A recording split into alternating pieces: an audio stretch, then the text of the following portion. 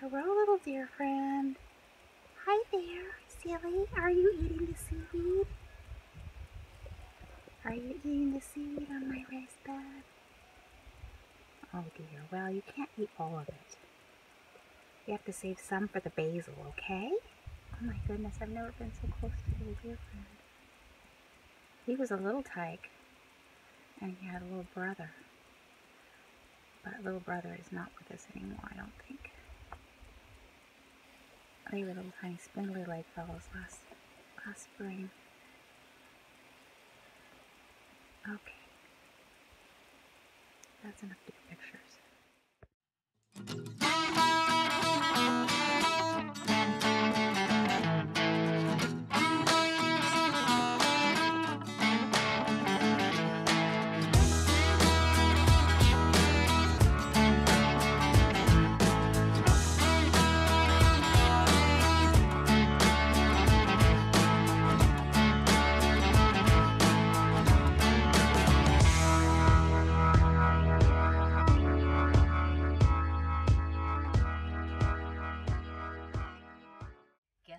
saw lurking behind the compost bag here in the greenhouse? As I was moving it around. Let's see if we can find him. Little buddy. Here's our little toad friend. Well, he's the biggest toad ever. He's the biggest toad ever. Okay, I'm gonna have to try and grab him and transport him elsewhere. So I just moved that toad out of the greenhouse um, and it peed on my hand. But fortunately I was wearing gloves. But that happened last year too. They really like that warmth in there, I guess. Um, so yeah, we just uh, got the greenhouse moved last night and um, I've got to do a number of things. I need to um, kind of fill in the gaps around the the edges and the ends because the you know the ground is uneven there and it's kind of jutting off the end over there. I mean also Tyler put a couple of slits at the top of the greenhouse so that he could put that strap under there and move it with a forklift. So I've got to repair those. Um, and then was oh so annoying. I um, spent that time fixing this near end of the greenhouse, you know, put that big plastic flap so I could do the ventilation. I wanted to get it done because I assumed that it was going to be at that far end. Like we were going to move it like this or something. But yeah, I mean, we naturally just pulled it in like a vehicle into a driveway or something. And so now I, I have to repair the end over there, put another um, window to vent on that end, and I'm going to be working on this, you know, as it's jutting off this kind of cliff. But anyway, and I don't even, I didn't even notice it when we were um, moving the greenhouse where we might have had a chance to fix it because I was so focused on like, oh my God, the greenhouse is going to fall on my toes so anyway, and then also this tarp full of transplant soil mix is so full I can't even drag the tarp around. So I've got to figure out what to do with that and where to put it. But the first thing I need to do is um, transplant the basil into the greenhouse because some of them are getting really big. And then also the kales that were too small the last time to transplant out, I need to get those out today too. So um, I'm going to focus on that first and then work on the greenhouse later.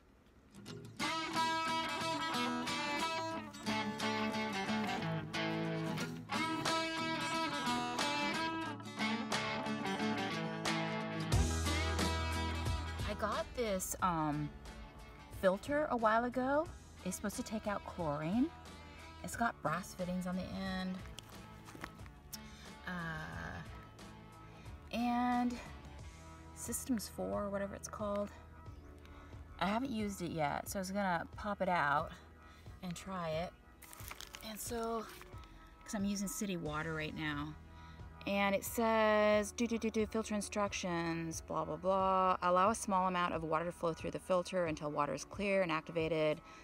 I don't know if I'm gonna want this unit at the very end right where uh, you know I'm using it but I thought I'd, I'd really just like it at the very end of all the series of hoses. I got all the basil planted. It's overcast now but it's really sunny today so I was kind of concerned. Here I was transplanting in the middle of the day watering at night so I've got these little tiny kales planted into this bed. Walk around the garden here. next to the kale that I planted the other week.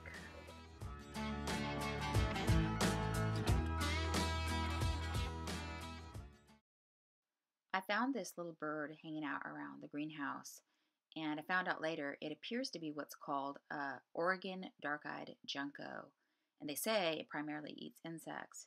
And I think that what it's chewing on right now is a moth. So I kind of figure you be a carnivore, I'll be an herbivore, and we'll get along just fine. And I've just seen it just by itself hanging out here kind of around the rock edges. And I don't know, maybe it's got a nest or something, so it might be around for a while. Oh my gosh, you guys, I just spent hours researching tools and supplies that I've been needing to get for a long time. And then I've just spent at least an hour or so on the phone trying to get the stuff shipped to Alaska. So I wanted this wheel hoe for my pathways, and they said $367 just for shipping. So I said, no, let's not do that. Let's do the free shipping from Georgia to Seattle, Washington. Put it on the barge, and then I'll pay a minimum $100 fee to get it up to Wrangell. So that made it um, for the unit and some hose $280 and then I'll pay the shipping fees when it arrives here. Then I talked to Johnny's. Um, and I got Jessica on the phone, thank goodness, because she was really patient and helpful. And we went through item by item. And there were some things where the shipping surcharge to Alaska was more expensive than the item itself. And so I said no to the flats and trays. I'll figure something else out. And then also the wire support for the insect netting. Um, so expensive and for the shipping and then plus it was drop shipped from a different manufacturer so it wouldn't have been able to go all in one package which is what we were trying to do get it um, all in one package shipped to the barge in Seattle, Washington. So what we ended up doing, you know, I wanted this wire hoe and so the handle being an odd shape, we just sent that separately, US Postal Service um, to my P.O. box, and that was reasonable. And then um, trying to get onto one package was the collinear hoe kit that goes on the top of the handle, also the wire head kit, which goes on top of the handle, and then this irrigation kit, which is drip line for my greenhouse for the basil. And then also this insect netting, which is pretty expensive, but I need something that lets in more light and air. And so then um, she's going to check to see um, and call me back to see if they can get it in one package. Um, and then that would be $610. Then I talked to the Grow Organic folks and asked about like their 50 pound bags of fertilizer and rock phosphate and stuff. And they said shipping to Alaska is so expensive. So I said, okay, I'll figure something else out. Let's not do that. We'll just get the water timer for the drip hose and the re replacement rose for my watering can, which I have taped together right now. $75 total. And then um, previously I had ordered through Territorial Seed Company some additional basil seed, onion seed, and spinach. So yeah, shipping to Alaska, what a pain in the butt. Hi little buddy. What are you doing? Wonder how close I can get to you before I scares you away. Mm, I have to go to the greenhouse and work on him. Gee, Willikers, you're not scared of me at all, hardly. silly goose. You're silly.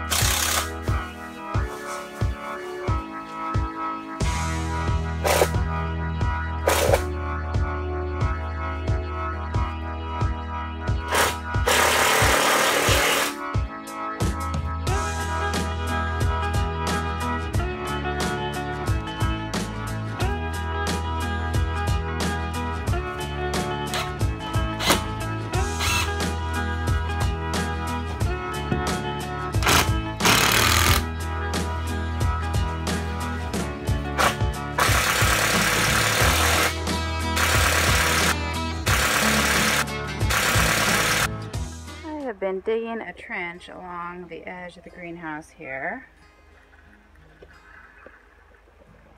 An attempt to kind of tip it over this direction so I don't have to fill quite so much on this side. Okay, so this little ditch along the edge of the greenhouse here seems to have leveled things out.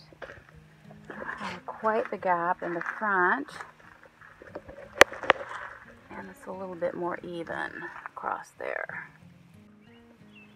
I've got the far side of the greenhouse tucked in at the bottom. The mosquito's trying to bite my finger.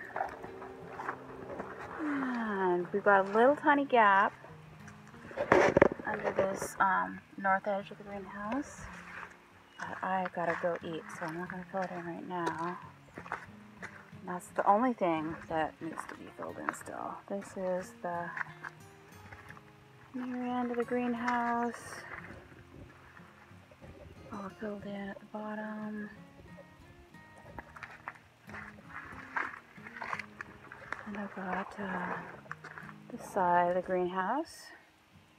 The potato boxes is all filled in and I've dug a trench because this kind of side is low and I want the water to flow down there before it hits the greenhouse. We'll see how that works. The transplant soil mix that is in the tarp there, I've got so much of it that I can't even drag it around. So I'm gonna put it into these boxes and then move those under cover. And then I've got another tarp which has some dried compost and I think I can just drag that under cover. Um, it's supposed to rain in another few hours, so I'm gonna try and get this done quick uh, and uh, beat the rain hopefully.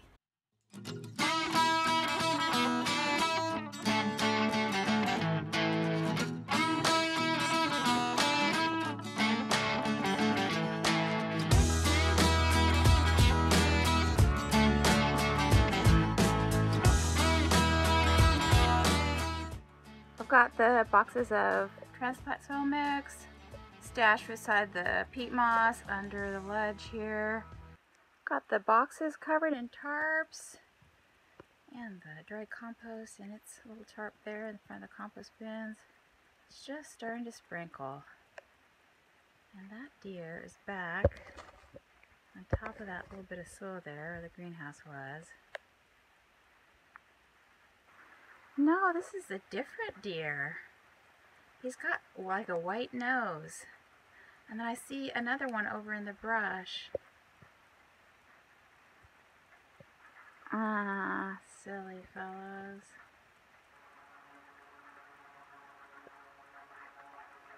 Yeah, you can't see it, but there's another deer a little bit farther back in the woods. Huh, I wonder if those are the two brothers.